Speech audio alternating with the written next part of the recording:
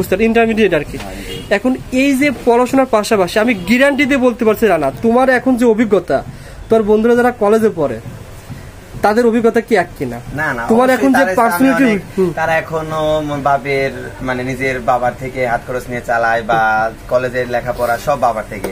আর আলহামদুলিল্লাহ আমি আমার বাবাকে হেল্প করতেছি আমার পড়াশোনা চলতেছে দোকানের মাল তুলতেছি দোকান ভাড়া দিচ্ছি নিজে চলতেছি এভরিথিং দোকান থেকেই হচ্ছে থেকে বলে রাখি আপনার এই প্রোডাক্টটা যদি তিরিশ টাকা কিনা থাকে আপনি যদি বলেন পঁচিশ টাকা তারপরে কাস্টমার বলবে বিশ টাকা। বিশ টাকা মানে গ্রামের ব্যবসা দরদাম করে অনেক বলি একটা কথা বলি যে গ্রামের লোক যত গ্রামে আমার দোকান আমি থাকে মাসের অভিজ্ঞতা বুঝলাম যে তারা অল্প দামের মধ্যে যারা আপনারা দোকানে গ্রামের মধ্যে আছে বা শহরের মধ্যেই হোক না কেন যেখানে আপনাদের দোকান আছে তারা আপনারা অবশ্যই জানবেন এবং বুঝবেন যে তারা অল্প দামের মধ্যে অনেক চকচকে জিনিস। চকচকে জিনিস। ওরা আসলে কোনটা সোনা দেখবে না কিন্তু চকচক করতেছে এটাই ভালো। সেটা হোক কম দাম হোক দুই দিন যাবে হোক তিন যাবে কিন্তু চকচক কিনা। আচ্ছা। তার মানে আমার দোকানের মূল লক্ষ্য এটাই যে আমার জিনিস চকচক করা লাগে। ব্যবসা করার মাধ্যমে এখন তুমি নিজেকে সময় ভালোভাবে ডেভেলপ করতে পারছ একটা প্রতিষ্ঠান দাঁড় করেছ এখন স্বপ্ন দেখতেছো এখানে রয়েছে লাখ টাকার ব্যবসা কোটি টাকার ব্যবসা স্বপ্ন দেখতেছো পাবনা থেকে। এই স্বপ্নটা কিন্তু ব্যবসা শুরু না করলে কিন্তু জানতে পারতাম না। আর আমি সবাইকে বলে রাখি আসলে এই যে পেলে বাটনটা আসছে এটা যখন আমার একটা সাবস্ক্রাইবার থেকে দশ হাজার বিশ হাজার তিরিশ হাজার এভাবে করতে করতে এক লাখ সাবস্ক্রাইবার এসেছে তারপরে তো এক- এক- একটা পরিবার গঠন হয়েছে। সুতরাং আপনারা যারাই ব্যবসা করতে চান আমরা যতই মোটিভেশন দিই আমরা, ও আমাকে পরামর্শ নিতে এসেছে, আমি পরামর্শ দিয়েছি। তাকে আমার ভিডিওগুলো দেখেছে তারপরে দোকান থেকে আইডিয়া নিয়ে ডেকোরেশন সাজিয়েছে। আমাকে অনেকেই বলে যে, ভাই, রানা ভাইয়ের ডেকোরেশনটা কেমন? দেখেন, আসলে ভিডিওর মাধ্যমে, কথার মাধ্যমে ডেকোরেশনটা বোঝা যাবে না। এখানে সিচুয়েশন অনুসারে, দোকান অনুসারে ডেকোরেশন হয়ে থাকে। এই দোকানটা ছোট, যার কারণে দেখেন ডেকোরেশনগুলো কেমন। আর প্রত্যেকটা ব্যবসা শুরু করতে হলে আপনাকে টার্গেট নিতে হবে যে, আমি এইভাবে এভাবে চলবো। হ্যাঁ? ভিডিও দেখে যে আপনি ব্যবসা শুরু করলেন পরে ব্যর্থ হলেন পরে দোষ দিলেন যে ঢাকা এক্সপ্রেসের ভাইয়ের দোষ। আসলে তা না। আসলে দোকান কোনো ফ্যাক না বা দোকানের পজিশনও কোনো ফ্যাক না। আসলে আপনি প্রচার প্রচার থাকা লাগবে আর নিজের একটা আগ্রহ থাকা লাগবে হ্যাঁ, আসলে আমার এই পজিশনে আমার কোন জিনিসটা চলতেছে? আমার শুধু কসমেটিক নিয়ে বসে থাকলে হচ্ছে না। আমার কি লাগবে যেহেতু স্কুলের পাশে দোকান? অবশ্যই খাতা কলম রাখা লাগবে। হ্যাঁ, হ্যাঁ। তাহলে এই পাশাপাশি একটা খাতা নিয়ে আসলে অবশ্যই এটা কসমেটিক দিতে হবে। আবার পাশাপাশি যেমন আমি যে এখানে আমার যতটুক সামর্থ্য ততটুক নিয়ে একটা ব্যাগ আইটেম তুলছি। এখানে ব্যাগ আছে। আচ্ছা, তারপরে আপনি এখানে গিফট আইটেম আছে। আচ্ছা গিফট আইটেম আছে। ঘুড়ি আছে চশমা আছে এভরিথিং মানে একটা কথা যে আপনার দোকান এমন পজিশনে করা লাগবে বা এমন মাল তোলা লাগবে যে আপনার দোকান থেকে যাতে কোনো কাস্টমার বলতে না পারে ভাই আপনার দোকানে ব্যাগ নাই পাশের দোকান থেকে কিনে আসি। আপনার দোকানে চশমা নাই পাশের দোকান থেকে কিনে আসি। না তা হবে না। আপনি সীমিত পরিসরে সবকিছু আপনার দোকানে থাকা লাগবে। আসলে এই যে কথাগুলো- হ্যাঁ। তাহলে আপনি আপনার দোকান একটা সুন্দর একটা ভাবে চলবে। হ্যালো বন্ধুরা, আসসালামু আলাইকুম। কেমন আছেন আপনারা সবাই? আশা করি আপনারা সবাই ভালো আছেন। আজকের ভিডিওটা আপনাদের সবাইকে দেখার অনুরোধ করছে যারা আপনারা কসমেটিক ব্যবসা করতে চান অথবা যে কোনো ধরনের ব্যবসা করতে চান, আজকের ভিডিওর মাধ্যমে আপনাদেরকে একটা সুন্দর একটা মেসেজ শেয়ার করব। যে মেসেজের মাধ্যমে যারা যুবক রয়েছেন, বেকার রয়েছেন অথবা যারা লেখাপড়া করেন, সবারই উপকার হবে। কেননা আজকের ভিডিওতে দুই বছর পূর্বে একটা ভিডিও করেছিলাম যে আমার ভাইসে ছিল, সে ব্যবসা শুরু করেছিল, সে বর্তমান পজিশন কেমন রয়েছে সে সম্পর্কে জানার চেষ্টা করব। তাছাড়া একটা দোকান সে কীভাবে শুরু করেছিল ডেকোরেশনটা কেমন সে সম্পর্কে জানার চেষ্টা করব। আজকে পুরো ভিডিওতে কথা বলব আমি এবং আমার ভাইস্তি রানা বিশ্বাস। রানা বিশ্বাস কি অবস্থা? ভালো আছো? আচ্ছা আপনি দর্শকদের বলে রাখি রানা আমাকে বলেছে যে আঙ্কেল আপনার তো ভিডিও দেখে আমরা, আমার দর্শক যেহেতু পেলে বাটন কিন্তু আসছে প্রায় এক মাস পূর্বে, কিন্তু আমি আসলে আপনাদেরকে দেখাই নাই। রানা বিশ্বাসের ভিডিওর মাধ্যমে আজকে দেখাচ্ছে, এটা আমার পেলে বাটন আর সে এটা দিয়ে ছবি তোলা তার অধিকার রয়েছে, আপনাদের সবারই অধিকার রয়েছে, কারণ আপনাদের ভালোবাসার জন্যই মূলত এই বাটনটা এসেছে। যাই হোক, আলহামদুলিল্লাহ, এখন আজকের ভিডিওর মাধ্যমে আমি শেয়ার করব রানার সাথে যে আসলে তার এখন সে কোথায় লেখাপড়া করে, বয়স কত, সে কী কী স্কিল অর্জন করেছে, সকল বিষয় কিন্তু জানার চেষ্টা করব ইনশাল্লাহ রানা বিশ্বাস, তোমার দোকানের বয়স কত বছর? এই তো আলহামদুলিল্লাহ সতেরো মাস। সতেরো মাস। আমি একটা ভিডিও দিয়েছিলাম সে সময় তো ছোট ছোট দোকান ছিল। এই সতেরো মাসের ভিতরে কি কি পরিবর্তন এসেছে? শত মাসের শত মাসের ভিতরে আলহামদুলিল্লাহ অনেক মানে নিজের পুঁজি অনেক কম ছিল। মানুষের থেকে দিনে দায়িত্ব করে আর কি দোকান শুরু করছিলাম। আচ্ছা। আলহামদুলিল্লাহ দিনে দায়িত্ব সব শেষ। এখন যা আছে সব আমার। মানে এখানে যা দোকানে ধরো প্রথম পর্যায়ে যখন শুরু করা যে কোনো লোকই ভীষণ শুরু করে কারও কাছ থেকে টাকা ধার করে হোক যে কোনো নিয়ে শুরু করা হয়। এখন এই সতেরো মাসে ব্যবসা করে ঈদ পেয়েছে তিন চারটা মতন সে ব্যবসা করে কিন্তু এখন পুরো দোকানে। এই ঈদেই মাল তুলেছে কয় কয় হাজার টাকার? এক লাখ বিশ। হাজার টাকা কিন্তু এই ঈদেই মাল তোলা হয়েছে। আর এই ঈদে বিক্রি হয়েছে কয় টাকা মিনিমাম তাহলে মাল কিন্তু. পুরোটা রয়েছে। আসলে যখন যারা ব্যবসা করে আমি তো আমার দোকানে মাল তুলেছি চকবাজার থেকে কিছু ষাট হাজার এখান থেকে। এবার দেড় লাখ টাকার মাল তুলেছি, ঈদের দিন, ঈদের আগের দিন বিক্রি হয়েছে সত্তর হাজার টাকা মতন। যাই হোক, আসলে আজকের ভিডিওতে আপনার কি কি কোয়ালিটি থাকলে একটা ব্যবসা করা করতে পারবেন? আর ব্যবসা করার মাধ্যমে আসলে কি কি কোয়ালিটি এ পর্যন্ত এই রানা বিশ্বাস অর্জন করেছে? আর রানার আগামী লক্ষ্য কি? আগে এটা জানতে চাচ্ছি। তোমার তো দেখুন, ব্যবসা রয়েছে গ্রামের ভিতরে। গ্রামে কিন্তু এটা একটা বাজার। এটা আমার দোকান, এটা আর এক ধরনের দোকান, তার পাশেই কিন্তু রানার দোকান। রানা শুরু করেছিল কি হবে তো প্রথম পর্যায়ে আমি শুরু করেছিলাম আপাতত স্থায়ী ভাবে না যে আপাতত পড়াশোনার পাশাপাশি একটু বিজনেস করলে মানে নিজের আপুর থেকে হাত খরচটা না নিয়ে নিজের হাত খরচটা চালানো যায়। তো সে পর্যায়ে আস্তে আস্তে শুরু করে মন মানুষের একটু পরিবর্তন হলো যে না আমার এই বিজনেসটা চাকরির চেয়ে অনেক ভালো। মানে যারা মানে বারো হাজার তেরো হাজার টাকা স্কোয়ারে বা অন্য যারা বেসরকারি কোম্পানি চাকরি করে তার চেয়ে আমার বিজনেসটা অনেক আলহামদুলিল্লাহ অনেক আচ্ছা, ভালো। আমি আমার এই যে আরও কিছু বলি এই যে আমার ঈদের পর থেকে টুর্নামেন্ট ছিল হয়তো আপনি চ্যালেঞ্জ দেখছেন যে টুর্নামেন্ট লাইভ ছিল।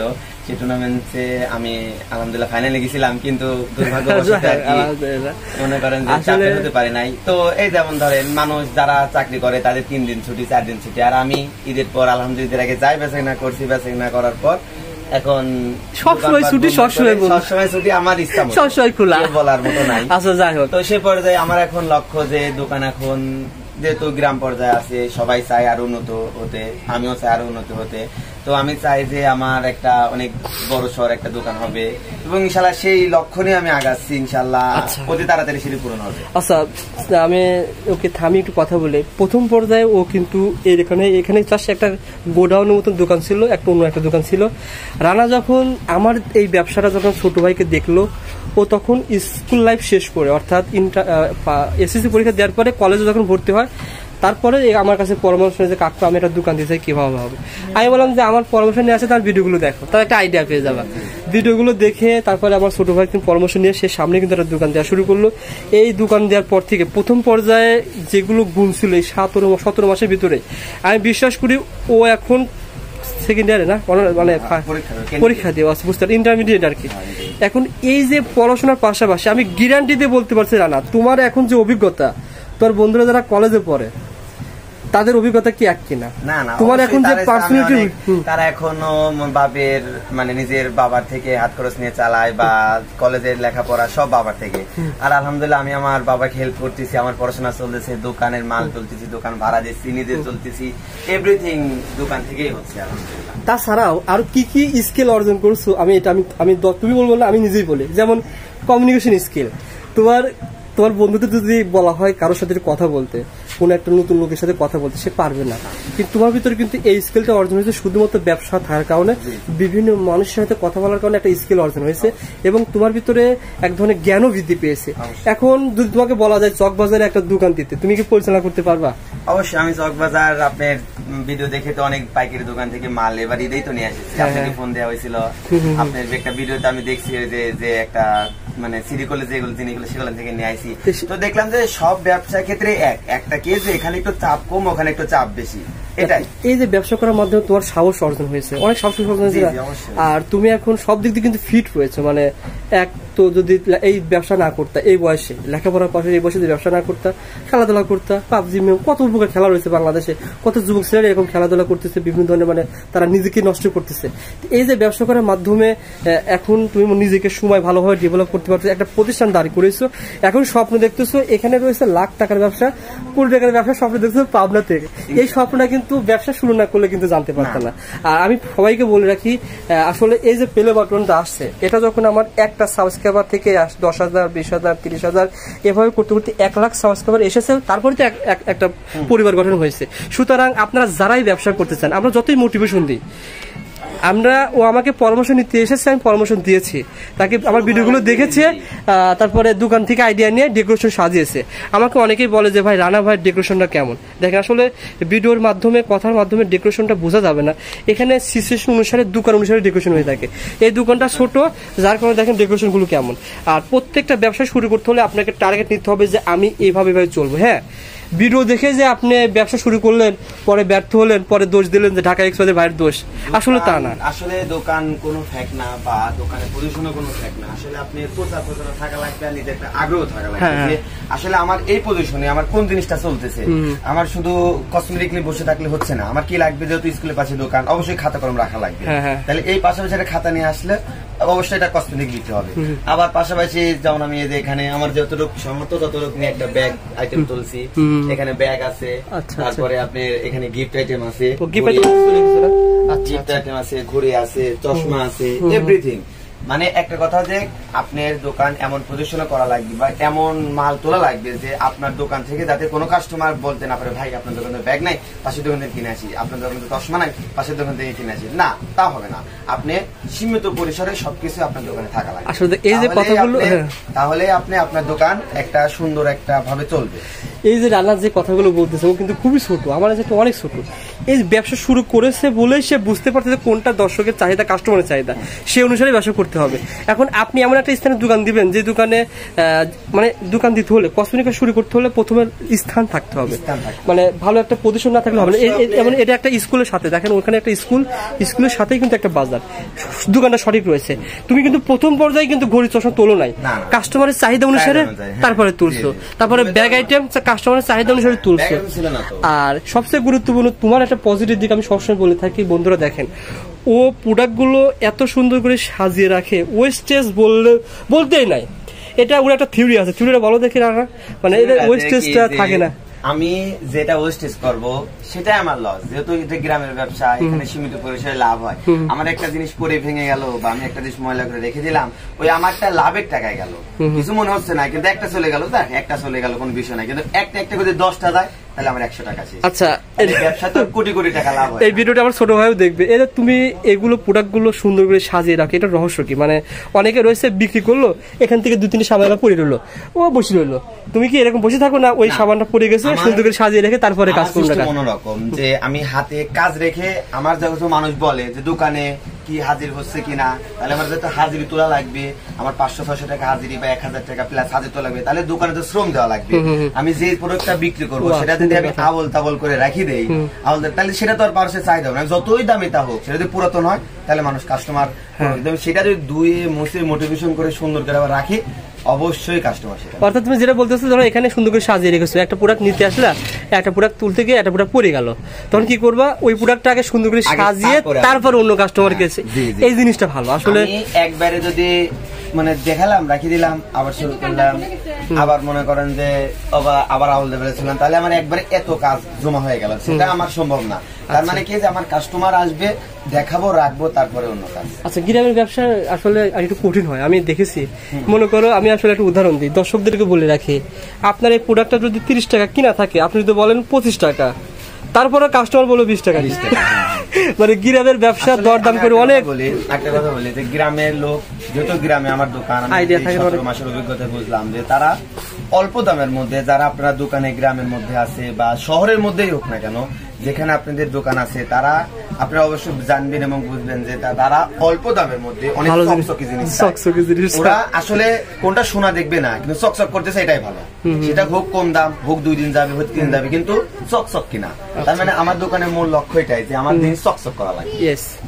আর মূলত আসলে ব্যবসা আসলে লাভের কথা অনেকে শেয়ার করে না। আমি নিজেও শেয়ার করি মাঝে মধ্যে। আসলে রান্না শুরু করেছিল কয় টাকা দিয়ে এখন তো পুরো দোকান। আগে দিনাদান দিনা দিয়ে শুরু করেছিল এখন দিনাদান দিনাদান নাই।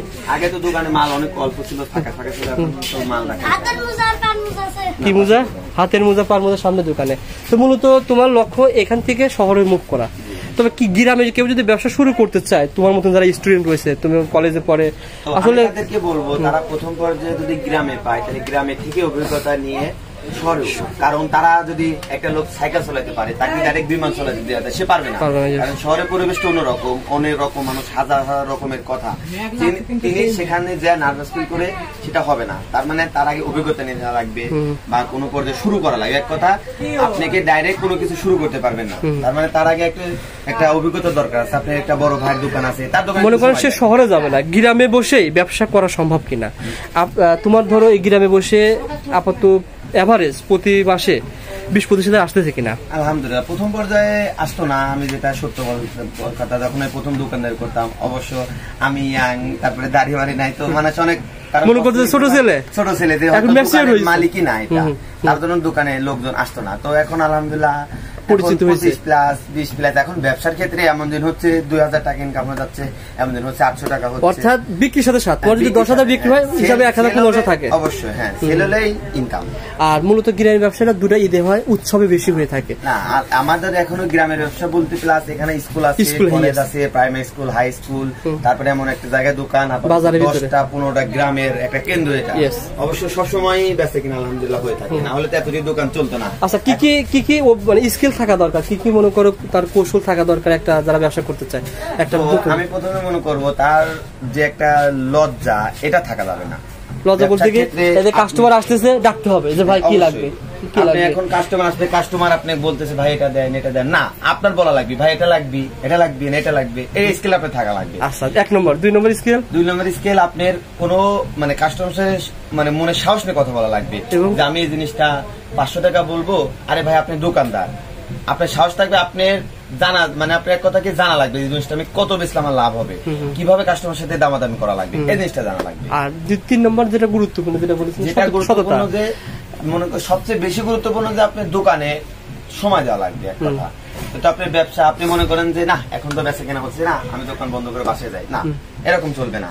আপনি ডেকোরেশন যেটা গুরুত্বপূর্ণ ডেকোরেশন ডেকোরেশন তো আছে প্লাস এটাও গুরুত্বপূর্ণ। ডেকোরেশনটা কি যে আপনি আপনার দোকানের সাইজ অনুযায়ী আপনি ডেকোরেশন করবেন। আসলে আপনি হঠাৎ করে ডেকোরেশন করবেন তা না। আপনি ডেকোরেশন আপনার বড় ভাই যারা আছে বা যারা বিজনেস করে তাদের থেকে পরামর্শ নেওয়া লাগবে অবশ্য আমার এরকম যদি আপনার দোকান হয় আপনি এরকম ডেকোরেশন করতে পারেন।